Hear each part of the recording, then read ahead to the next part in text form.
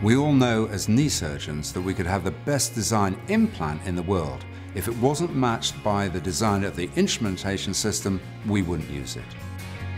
The optimal instrument system is simple, it's intuitive, it's a system that actually makes the surgeon do the operation better. Good design is about putting the user at the center of the process. It's inherently, intuitively easy to understand. So one area of the instrument development we particularly focused on was usability approach. We brought into the design a particular styling which is consistent across the kit.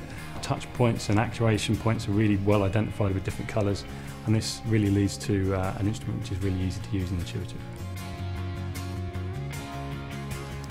With Attune, one of the key design inputs was to make the markings as obvious as possible.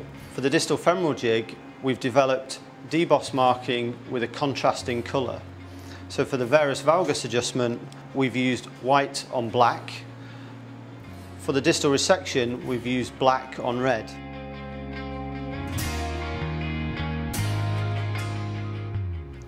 Red has been used uh, across the instrument to identify key touch points, which are controls that the user needs to, to use.